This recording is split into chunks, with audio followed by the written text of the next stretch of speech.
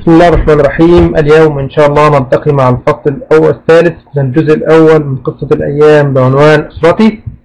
نتعرف فيه على أسرة طه حسين كم كان عددها وموقعه بين هذه الأسرة وكيف كان يعامل وما شعوره تجاه تلك المعاملة.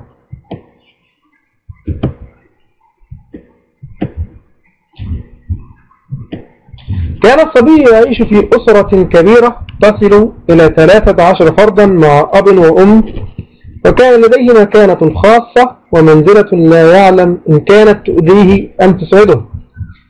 وقد كان يجد من أبيه لينا ورفقا ومن أمه رحمة ورأفة وأحيانا كان يرى من أبيه وأمه إهمالا وغلظة من إخوته الاحتياط في معاملته وكان هذا يضايقه.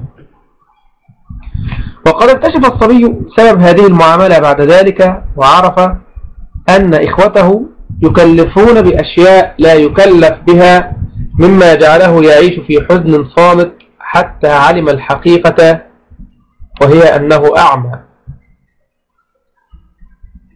أسئلة وأجوبة شاملة لأحداث الفصل ما ترتيب الصبي بين أبناء أبيه عامة وإخوته خاصة؟ أو, كما كا أو كم كان عدد أفراد أسرته؟ كان سابع ثلاثة عشر من أبناء أبيه وخامس أحد عشر من أشقته من الأب والأم.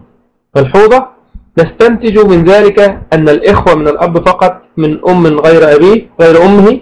اثنان. ما المكان التي كان الصبي يحظى بها بين أفراد أسرته؟ كان الصبي يحظى بمكانة خاصة على الرغم من ضخامة عدد أفراد الأسرة. لماذا كان احتياط إخوته وأخواته يؤذيه؟ لأنه كان يجد شيء فيه شيئا من الإشفاق مشوبا بشيء من الإزدراء أو السخرية. ما الذي كان يجده الصبي من كل من أمه وأبيه وإخوته وأخواته في تعاملهم معه؟ كان يجد من أمه رحمة ورأفة وأحيانا منها الإهمال والغلظة. كان يجد من أبيه لينا ورفقا ثم يجد الإهمال أيضا والازورار بمعنى الابتعاد من وقت إلى وقت. كان يجد من إخوته وأخواته الاحتياط في معاملته مما كان يسبب له ضيقا. لماذا كانت الأم تحضر أو تمنع على الطفل أشياء تأذن فيها لإخوته؟ كانت تفعل ذلك خوفا عليه لأنه كان لا يقدر أن يقوم بها بما كانوا يقومون به وذلك لكف بصره. ما الذي تحولت إليه حفيظة الصبي في النهاية ولماذا؟ استحالت إلى حزن صامت عميق. وذلك عندما سمع إخوته يصفون ما لا علم له به فعلم أنهم يرون ما لا يرى وعند ذلك عرف الحقيقة وهي أنه أعمى. اللغويات احتياط تحفظ وحيطة وحذر. الازدراء الاحتقار والاستخفاف وعكسها الاحترام. يحفظه يغضبه وعكسها يرضيه. تحضرها عليه تحرمها عليه وتمنعه منها وعكسها تبيحها. الحفيظة ما يبقى في نفس الإنسان من الغيظ والغضب. الغلظة الشدة والقسوة وعكسها لين ورحمة. مشوبا مختلطا ممزوجا يلبس يستمر. الازورار الابتعاد. تدريبات. وكان يجد إلى جانب هذا اللين والرفق من أبيه شيئا من الإهمال أيضا والازورار من وقت إلى وقت. وكان احتياط إخوته وأخواته يؤذيه. لأنه كان يجد فيه شيئا من الإشفاق مشوبا بشيء من الإزدراء. ألف. في ضوء فهمك معاني الكلمات في سياقها تخير الإجابة الصحيحة مما بين القوسين فيما يأتي. مرادف الزرار القسوة الغلظة الابتعاد الإيذاء.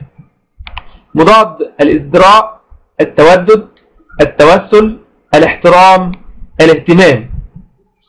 كان احتياط إخوته وأخواته يؤذيه وهذا يدل على قسوة إخوته فرط إحساس كراهيته لإخوته مكر إخوته. باء تحدث الصبي عن معاملة أبيه وأمه له. وضح ذلك مبينا أثر تلك المعاملة في نفسه. جيم ذكر الصبي أن له منزلة خاصة بين أفراد أسرته. وضحها مبينا موقفه منها. رأيك في هذا الموقف. على أنه لم يلبث أن تبين سبب هذا كله فقد أحس أن لغيره من الناس عليه فضلا وأن إخوته وأخواته يستطيعون ما لا يستطيع وينهضون من الأمر لما لا ينهض له. فأحس أن, أن أمه تأذن لإخوانه وأخواته في أشياء تحضرها عليه وكان ذلك يحفظه. ألف مرادف يلبث مضاد يحفظه المراد بالأمر. باء استنتج سبب ما كان يلقاه الصبي من إهمال أحيانا من والديه. جيم هل كان الصبي راضيا عن منزلته بين أفراد أسرته؟ وضح واذكر السبب. دال أعرب ما فوق الخط. مع نفهم نتعلم ببساطة.